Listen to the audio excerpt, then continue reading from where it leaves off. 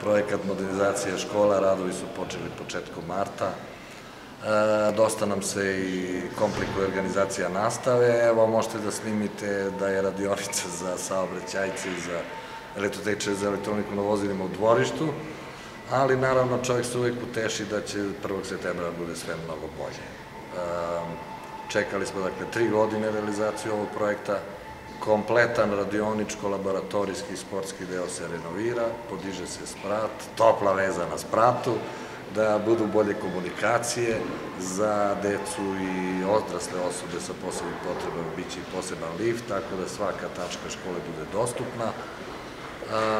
Trenutno se radi na onom delu gde su dve velike radionice, tamo dobijamo na spratu radionicu za energetiku i dva informatičke kabineta, a ovde iznad slačionica i, i ostalih tu prostora koje se takođe renoviraju, e, dobijemo biblioteku sa čitaonicom, velika sala 140 kvadratnih metara, e, zatim novi hol koji će biti e, sa novom toplom vezom spojen. Rešava se pitanje i grejanja i to je dobro što je i opština odvojila pare ove godine, tako da i ekonomska škola koja se napajala iz naše podstanice je rešila taj problem.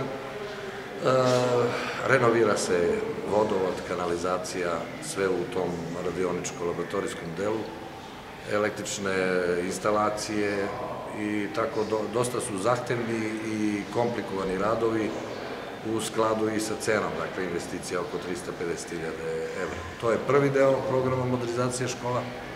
Drugi deo programa očekujemo u naredni mesec, dva, a to je opremanje tog prostora, procedura je nešto izmenjena, Ministarstvo prosvete još nije donelo, da tako kažem, e, specifikaciju opreme koja može da ide u tendere i ja se nadam sledeće godine sve će biti kako treba. Od opštine očekujemo i da konačno rešimo e, makar ono dvorište prema sportskim terenima gde nam automobili ulaze i izlaze i ovaj, da se taj deo asfaltira, da su rade parkizi, i jednostavno da za sledeće jeseni ovo zabliste sve.